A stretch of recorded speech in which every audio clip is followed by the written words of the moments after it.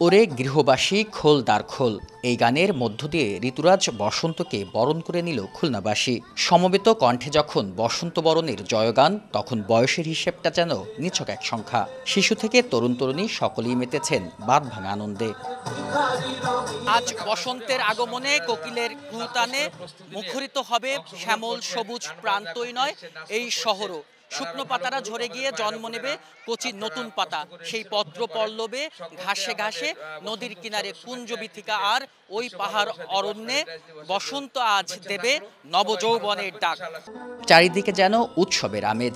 ঋতুরাজ বসন্তকে বরণ করে নিতে প্রকৃতির সঙ্গে তাল মিলিয়ে সবাই সেজে উঠেছে প্রকৃতির রঙে।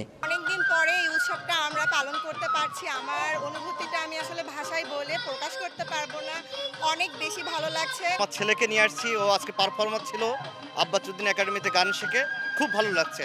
মনে হচ্ছে আসলে আমাদের প্রাণ ও প্রকৃতিতে বসন্ত এসে গেছে। খুবই ভালো লাগছে যে তিনটা আমরা একসঙ্গে উদ্বোধন করতে পারছি। এবং আজকে আমাদের হঠাৎ করে দেখেন আবহাওয়াটাও অনেক সুন্দর হয়ে গিয়েছে। পূর্বে কখনো এত সুন্দরভাবে অংশগ্রহণ করা হয়নি। এই প্রথম খুলনায় আব্বাসুদ্দিন একাডেমির পক্ষ থেকে আমি অংশগ্রহণ করছি এবং সত্যি বলতে ভীষণ আনন্দ হচ্ছে। এই অনুভূতি আসলে বোঝানো যাবে না।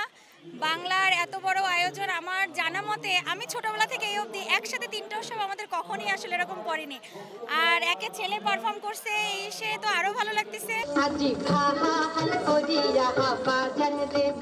বুধবার বিকেলে নগরীর ঐতিহ্যবাহী শহীদ হাদিস পার্কে খুলনার তিরিশটি সংগঠনের উদ্যোগে বসন্ত উৎসবের আয়োজন করে আব্বাস উদ্দিন একাডেমি। নানান বয়স ও শ্রেণি পেশার মানুষ বাহারি রঙের পোশাক পরে অনুষ্ঠানে অংশগ্রহণ করেন। আয়োজকরা বলছেন এ ধরনের অনুষ্ঠান তরুণ প্রজন্মের সাথে বাঙালির সংস্কৃতির মিলবন্ধন তৈরি করবে। নতুন প্রজন্ম যারা তৈরি হচ্ছে শিশুরা আহ, দেখ অসংখ্য শিশু কিন্তু এখানে এসেছেন তারা বসন্ত মানে একটা উৎসব হতে পারে বসন্তকালে একটা পর্ব হতে পারে এটা জানতো না।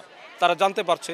নিশ্চয়ই আমরা এর জন্য- অনেক একটা ভালো প্রজন্ম আমরা পেয়ে যাব। অপসংস্কৃতি আমাদেরকে ঘিরে ধরেছে।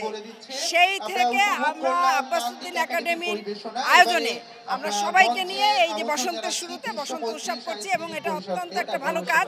আমি আশা করব যে এই বসন্ত রঙগুলো আগামী বছরে ছড়িয়ে যায় এবং এরকম অনুষ্ঠানগুলো সারা বাংলাদেশ সব জায়গায় আসে। আমরা আমাদের শেকড়, সংস্কৃতি সব কিছুর জন্য আমরা আবার উঠে আনা উঠে আনা, উঠিয়ে আনতে পারি এই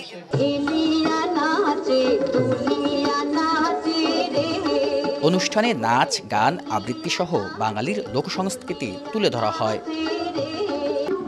বিলাল হোসেন সজল, সময় সংবাদ, খুলনা।